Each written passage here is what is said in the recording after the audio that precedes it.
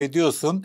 Türkiye'deki dini hayatı ve öz, genelde dini hayatı özel olarak da tabii ki İslami hayatı ve Müslümanları nasıl e, yorumluyorsun, nasıl değerlendiriyorsun, nasıl buluyorsun?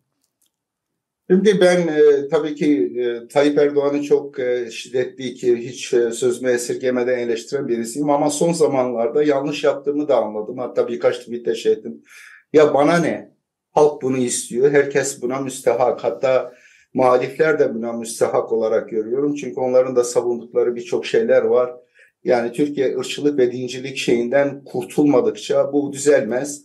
Layık olduğunuz şekilde yönetilirsiniz. Onun için ben bu konudaki tavrımın gerçekten tutarsız olduğunu gördüm. Ben kimin adına şey diyorum? Adam bana hakaret ediyor. Ben işte dünyanın en büyük sarayı Türkiye'dedir dediğim vakit adam ağzı açlıktan kok, kokan adam tutup sarayı savunuyor. Ben bana ne? Ben burada rahatım.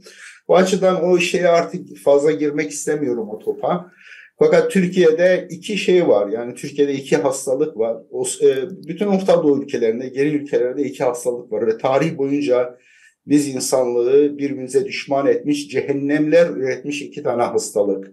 Biri dincilik, yani şirk dinleri insanları birbirinden düşman yapan, Allah artı falan filan ile oluşturulan ayrıcılık. Halbuki bir tek Tanrı var, kainatın yaratıcısı. O bütün evrensel değerlere sahiptir. Nedir evrensel değerler? İlimdir, adalettir, barıştır, sevgidir. Bunlar Tanrı'nın Kur'an'da anlatılan Tanrı'nın sıfatları. Ee, öyle olduğu vakit hepimiz insan olarak kardeşiz. Bunu bölen şey dinciliktir. Allah artı İsa, Allah artı Musa, Allah artı Muhammed, Allah artı Krishna ve daha niceleri var. Alimleri, alimcikleri, şeyhleri, şeyhcikleri var.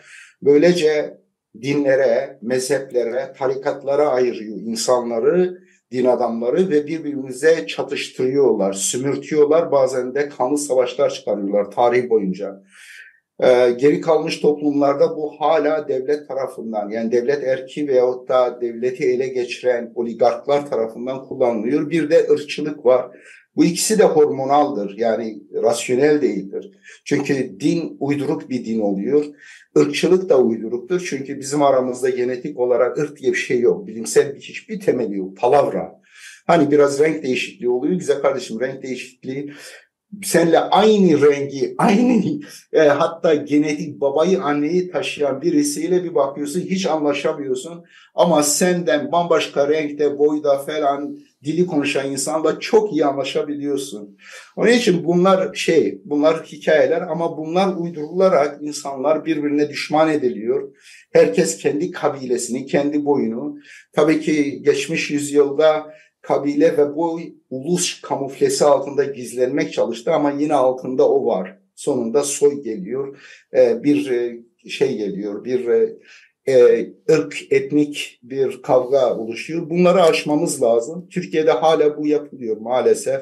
Partiler, pırtılar muhalefetiyle, iktidarıyla musaf sallıyor. İnsanlar aptallaşıyor. Bir de bayrak sallayınca tamamıyla aptallaşıyor. Peki Geri kalmış e, ülkelere bak.